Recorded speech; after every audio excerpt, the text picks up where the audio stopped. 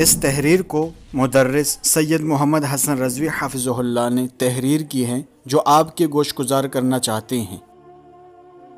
सैयद जवाद नकवी हफ्ज़ल्ला की शख्सियत के ऊपर मुसलसल अपनों और गैरों की तरफ़ से तरह तरह के इल्ज़ाम और तोहमत लगाई जा रही हमारे लिए इंतहाई तजुब की बात है कि एक शख्सियत जो कौम और मिलत की खिदमत भी कर रही हो और दीन हुसैनी से उम्मत को बेहतरीन तरीके से रोशनास भी करवा रही हो। आखिर उसके ऊपर क्यों अपनों की जबान दराज होती है? आखिर क्यों उसकी शख्सियत को मस किया जाता है? आइए इसको ज़ुबान हाल से पूछते हैं और ज़ुबान अमल से जवाब तलब करते हैं कि, ए सैद बुजुर्गवार, क्यों आपके ऊपर ये बोला जाता है?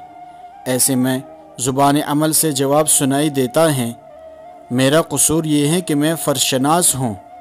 मेरा कसूर ये है कि मैं हक़ो हूँ। मेरा कसूर ये है कि मुझे कागज़ी तोहद नहीं, अमली तोहद से इश्क है। मेरा कसूर ये है कि मैं किसी आलिम, फाजिल या जाकिर मुतदयन का नहीं, बल्कि मुनाफिकत व बेशूरी का दुश्मन हूँ। मेरा कसूर ये है कि मैं मामलाबाज नहीं, बल्कि उसूल पसंद हूँ। मेरा कसूर ये है कि मैं निज़ाम तोहद का मतद हूँ। मेरा कसूर ये है कि मैं विलायत मदार हूँ। मेरा कसूर ये है कि मैं उम्मत की आज़ादी व इस्तकलाल का तलबगार हूँ। मेरा कसूर ये है कि मैं तशी का हकीकी चेहरा मुतारफ़ करवाना चाहता हूँ। मेरा कसूर ये है कि मैं उम्मत को महदवियत की रौनक से अशना कराना चाहता हूँ।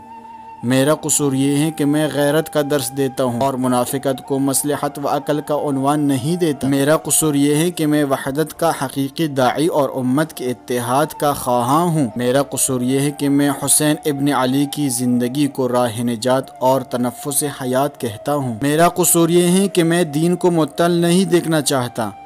मेरा कसूर ये है कि मैं इस्लाम को रसवा नहीं देखना चाहता। मेरा कसूर ये है कि मैं इस्लाम को रसवा नहीं देख सकता। मेरा कसूर ये है कि मैं ला ताल्लुकी के जहन्नम में नहीं जलना चाहता। मेरा कसूर ये है कि मैं दर्दमंद हूँ। मैं दर्द दिल रखता दिल रखता हूँ। दर्द दिल रखता दिल रखता हूँ।